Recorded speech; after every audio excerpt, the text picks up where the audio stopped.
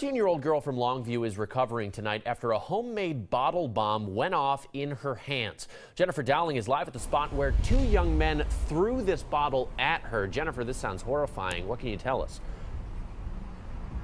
Yes, it was very shocking to this young lady. She was walking her dog near the intersection here off of East 26 in Vancouver. That's when two young men threw a bottle out of their vehicle at her. She thought, well, I'll pick it up and take it to recycle it and exploded right in her hands. We were able to speak to her mother earlier in the day. She said it's just a troubling situation, very scary for the teen. Vancouver police confirm there was an explosion near Fort Vancouver Way in East 26. When they arrived, they found the 13 year old suffering from wounds to her hands and arm. Her mom says a neighbor then called 911 and Christiana was taken to the hospital by ambulance. Police say she had serious, but fortunately not life threatening injuries. Karma always comes around. Uh, this could have been a lot worse. Um, thankfully, she will be okay. Um, if you know anything, um, call, call it in.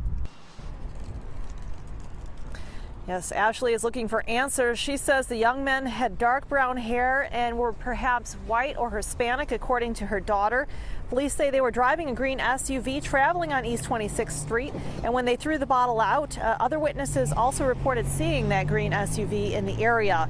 An arson investigator is working the case, and police do have some video, they say, of the incident or the events leading up to it. We're not quite sure of what those uh, videos show. Now, Ashley's mom says that her daughter was visiting relatives here in Vancouver, again, walking the dog out for a stroll at the time that that bottle was thrown, and she'd really like help uh, locating who's responsible. We'll talk more with her coming up at 6. Back to you.